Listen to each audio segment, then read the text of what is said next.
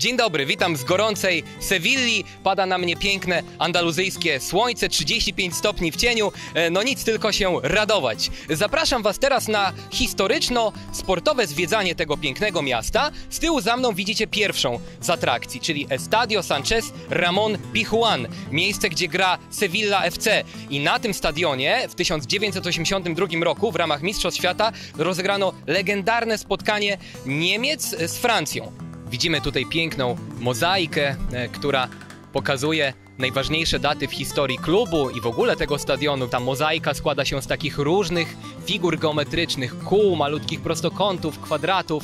E, Jest bardzo dużo szczegółów. Co jest też niezwykle ciekawe, e, przedstawione są na niej różne kluby, które konkurowały z Sewillą. Mamy Real Madryt, FC Barcelonę, Athletic Bilbao, Benfica, Stade Rem nawet, o i Bayern, więc e, są naprawdę różne. E, Milan tam też widzicie na górze. No więc kawał historii generalnie na tym stadionie się odbywał.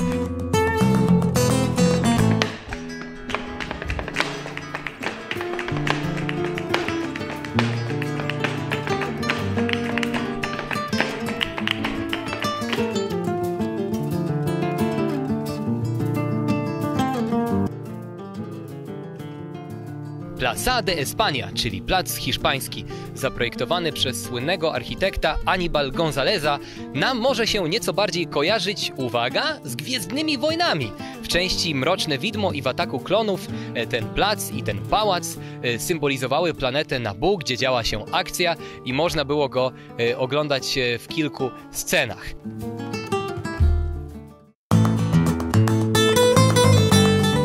Zobaczymy teraz słynną fabrykę cygar w Sewilli. Przed nami główna brama. Zobaczymy, czy uda nam się dostać do środka. W okresie największego rozwoju fabryka zatrudniała tysiące kobiet skręcających z liści tytoniowych cygara.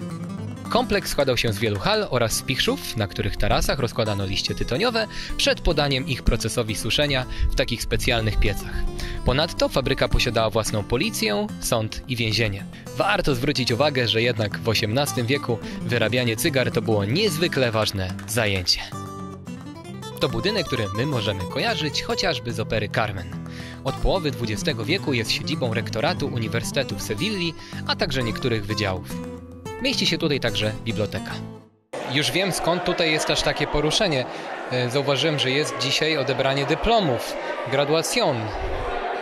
I Hiszpanie się cieszą, że kończą studia.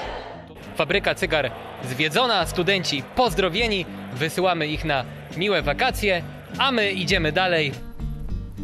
Zwiedzanie Sewilli jest bardzo proste. W wielu miejscach znajdują się takie znaki, na których zaznaczony jest dystans, ile minut potrzeba, żeby przejść piechotą do konkretnej atrakcji, więc korzystam z nich bardzo mocno.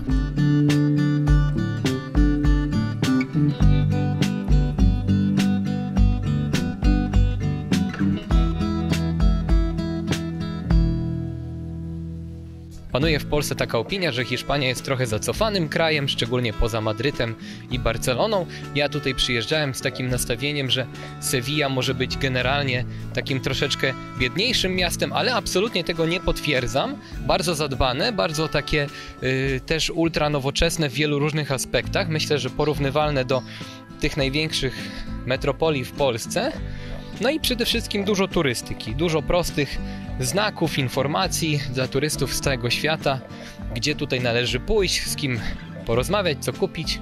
A ja, e, no niestety, muszę potwierdzić, że to, co mówili w wielu różnych mediach Hiszpanie, że właśnie wirus e, uderzy w turystykę, to jest jak najbardziej prawda. Tutaj e, jest mnóstwo różnych zamkniętych barów, takich, z których można byłoby korzystać, a widać, że właściciele się po prostu poddali jeszcze na jakiś czas.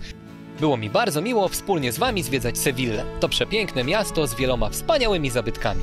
I chociażby z tego powodu postaram się przygotować jeszcze jedno turystyczne nagranie. A Wy nie zapomnijcie zasubować nas na YouTubie, polubić na fejsie i włączyć powiadomienia. Wtedy na pewno nic Was nie ominie. Do zobaczenia, trzymajcie się!